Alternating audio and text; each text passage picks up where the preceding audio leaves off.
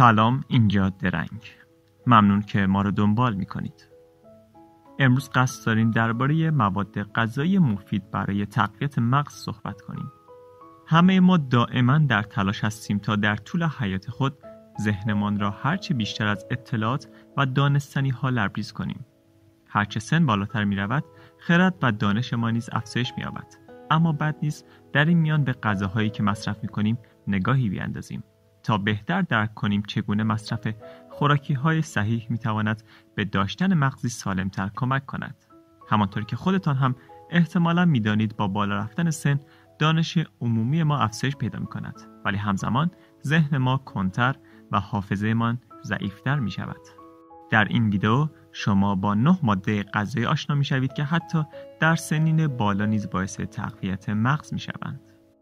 اگر رژیم غذایی خود را تغییر دهید و روزانه شروع به استفاده از خوراکی های سالم تر کنید می توانید آینده بهتری را برای خود رقم بزنید چون افرادی که غذاهای سالم مصرف می کنند 24 درصد کمتر در معرض خطرات ناشی از زوال حافظه و قدرت استدلال قرار دارند از سوی دیگر افرادی که رژیم غذایی چربتری دارند احتمال بیشتری دارد در طول زندگی خود با مشکلات از این دست مواجه شوند خوراکی های دارای آنتی اکسیدان احتمالا در مورد فواید بینظیر آنتی اکسیدان ها شنیده اید.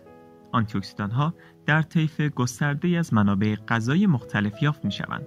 این مولکول های غذایی عامل اصلی سالم نگه داشتن بدن و ذهن هستند زیرا آن ها سلول ها و رگ های خونی بدن را تقویت می کند و آسیب ناشی از رادیکال های آزاد را که در یک سری واکنش های زنجیری موجب مرگ سلول ها می شود کاهش می دهند. آنتی ها معمولا در بسیاری از میوه ها و سبزیجات متنوع یافت می شود که همگی بخشی از یک برنامه غذایی سالم را تشکیل می دهند. روغن ماهی غنی از DHA بخورید. هنگامی که صحبت از رژیم غذایی سالم می شود، اسیدهای چرب امگا 3 شبیه چیزی به نظر می رسند که باید از آن اجتناب کرد ولی اشتباه نکنید. امگا 3 در حقیقت یک مکمل غذایی مفید است که به مغز ما کمک می کند به بهترین بازده و عملکرد خود دست پیدا کند و پردازش های حافظه را افزایش دهد. معمولا پیشنهاد می شود در یک رژیم غذایی خوب و مغذی باید حداقل هفته ای سه بار از ساردین، سالمون و امثال آنها استفاده کرد تا بتوان از فواید اسید چرب DHA موجود در ماهی بهره برد. DHA برای رشد و حفظ عملکرد حافظه یادگیری ضروری است.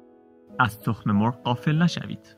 حتما در زندگی همه ما روزهایی بوده است که سر میز صبحانه بنشینیم و تخم مرغ آبپز بخوریم. از غذا تخم مرغ یکی از منابع اساسی کولین به شمار می رود. کولین نوعی ماده مغذی است که به چگونگی عملکرد مغز و حافظه ما کمک می کند و برای رشد حافظه لازم است. ماده غذای کولین برای تولید استیل کولین مورد استفاده قرار می گیرد. که خود یک انتقال دهنده عصبی ضروری حافظه می باشد. بنابراین تخم مرغ پخته برای صبحانه و ماهی برای نهار دو ترکیب غذایی سالم است که می تواند عملکرد مغز را در طول روز به بالاترین حد خود برساند. بیشتر گردو بخورید. معمولا مردم نظرهای بسیار متفاوتی نسبت به گردو دارند. یا خیلی آن را دوست دارند یا اصلا از آن خوششان نمی آید. ولی اگر به شما بگوییم گردو و مغزهای مشابه آن نقش بسزایی در داشتن مغزی سالمتر و عملکرد حافظه بهتر ایفا می کند چطور؟ گردو درست مثل ماهی دارای اسیدهای چرب امگا 3 است. به علاوه این خوراکی بینظیر حاوی نوعی آنتی اکسیدان قوی است که تخریب و مرگ سلول ها بر اثر واکنش های زنجیره رادیکال های آزاد را به حداقل میرساند. تقویت کننده مغز آیورودا مصرف کنید. به احتمال قوی قبلا چیزی در این مورد نشنیده اید ولی کاری که برهمی نوعی تقویت کننده مغز آیورودا انجام می دهد برای بهبود گردش خون در مغز ضروری است که این نیز به نوبه خود قابلیت های حافظه کوتاه مدت و بلند مدت را افزایش می دهد. تحقیقات همچنین نشان می دهد که مصرف روزانه یک دوز 450 میلی گرمی از اصاره برهمی می تواند در بهبود عملکردهای شناختی و کاهش استراب در بزرگسالان موثر باشد. برهمی که از خانواده گیاهان دارویی است به شکل قرص عرضه می شود و می توان روزانه آن را مصرف کرد. بنابراین اگر به دنبال یک ماده مقوی برای تقویت مغز خود هستید برهمی می تواند گزینه مناسبی باشد. جینکو داروی گیاهی برای تقویت مغز شما علاوه بر برهمی می توانید از یک گیاه دارویی دیگر به نام جینکو استفاده کنید. درست مانند برهمی جینکو گردش خون در مغز را بهبود می بخشد و در نتیجه به داشتن حافظه بهتر کمک می کند.